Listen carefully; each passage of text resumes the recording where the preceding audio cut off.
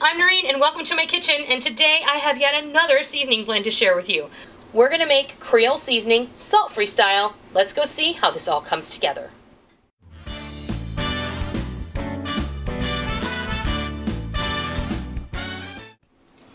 Okay, we're just going to go over all of the ingredients and just like with all of my spice blends, if you don't have one of the ingredients, don't sweat it. But it will say, if you don't have paprika, you probably shouldn't make it. You should just wait until you have it.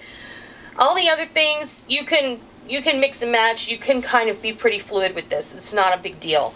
But these are pretty much the components in the flavor profile of Creole, of the Creole cuisine, let's say. So we're going to start off with four tablespoons of ground paprika. That's a sweet paprika. Two tablespoons of onion powder, garlic powder, oregano, basil, marjoram, and parsley. A tablespoon of thyme, black pepper, and cayenne. That's pretty simple. Now, just like every other time, we're going to go ahead and we're going to gather up all of this goodness.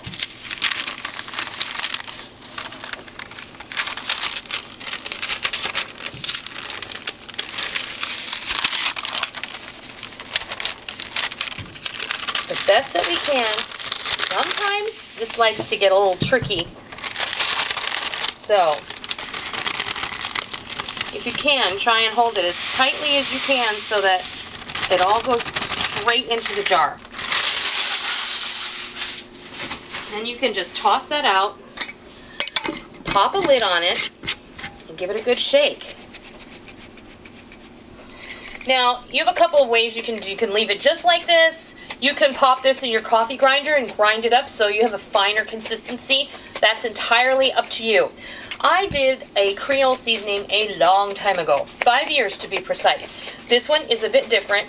That one I did run through my coffee mill, and frankly, I like it a little bit on the naturaler side. Naturaler. That's a new word. Mm -hmm. Okay, don't don't rag on me for my grammar. Um, this one is also salt free. The other one was not. I explained in the past the salt free thing I like a lot better simply because I like to control the salt that goes into my dish, and I like to salt my dishes in layers. So this is going to allow me to do that.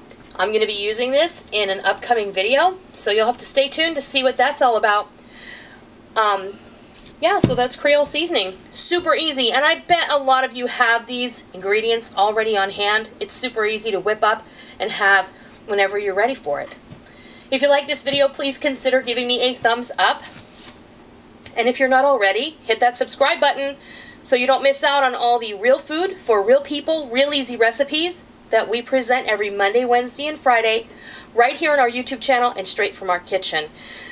So, I would like to say thank you for joining me today and watching how I make Creole seasoning. I hope you give it a try and I hope you love it. And until next time, I'll see ya.